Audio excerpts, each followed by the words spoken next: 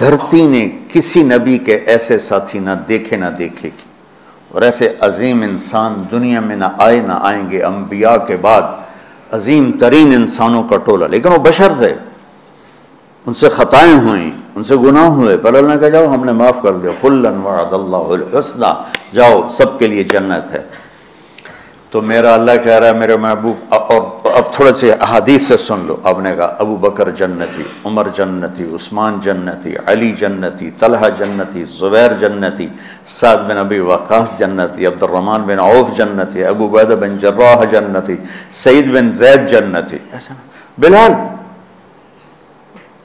جب جنت میں جاتا ہوں تیرے پاؤں کی آہٹ اپنے آگے آگے سنتا ہوں۔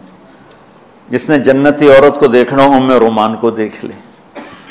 بڑے بڑا منا کے بساوا اٹھا کے دیکھو۔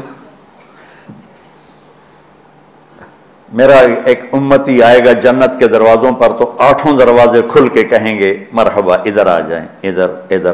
سلمان فارسی ایسے ہوئے۔ یا رسول اللہ، کون ہے یہ؟ صاحب نے کہا یہ بیٹھا ہے، ابو بکر۔ اس کو جنت کے آٹھوں دروازے پکاریں گے۔ عمر، ایک محل دیکھا، بہت عالیشان میں سمجھا میرا ہے۔ جب جانے لگا تو فرشتے نے کہا، آپ کے غلام عمر بن خطاب کا ہے۔ عثمان، جنت میں ہر نبی کا رفیق ہے، میرا رفیق تو ہے۔ پھر حضرت علی کا ہاتھ پکڑ کے کرتے کرتے کرتے یہاں لگا لیا۔ علی، تو بھی خوش ہو جا۔ جنت میں تیرا گھر میرے گھر کے سامنے ہے۔ طلحہ زبیر، ہر جنت، جنتی کا ایک خادم، میرے دو خادم، طلحہ اور زبیر۔ تو اس ایک لائن لگی پڑی ہے۔